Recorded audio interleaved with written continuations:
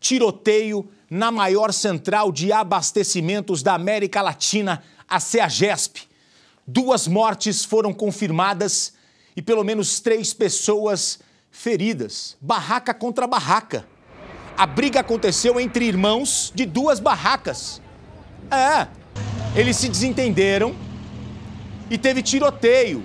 Você vai ver a reportagem completa agora, aqui no Cidade Alerta Especial de sábado. Roda a reportagem. O tiroteio aconteceu logo cedo, por volta de 5 horas da manhã. Os feirantes se conheciam há bastante tempo. Compravam peixes todas as madrugadas no CEAGESP, na zona oeste de São Paulo, e vendiam nas feiras livres da cidade. De acordo com as testemunhas, tudo aconteceu muito rápido. Três irmãos de uma das barracas se desentenderam com dois homens, também irmãos de uma outra peixaria. Após um rápido bate-boca, começaram os disparos. Cinco pessoas ficaram baleadas. Ítalo dos Santos, de 25 anos, e Wagner Rodrigues, de 33, morreram no local.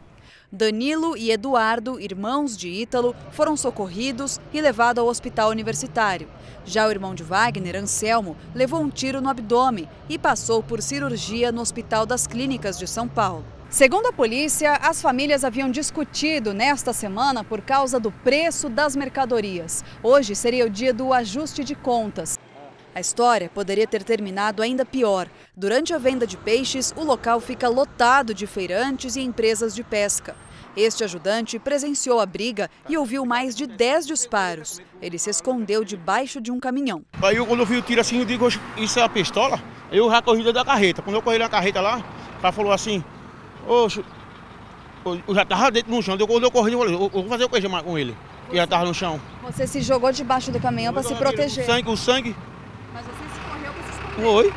Eu digo, vou fazer o que mais? Três armas com numeração raspada foram encontradas no local. Um revólver e duas pistolas. Os três homens feridos vão passar por exame de resíduo de pólvora e, por enquanto, ficarão sob custódia da polícia por homicídio e tentativa de homicídio.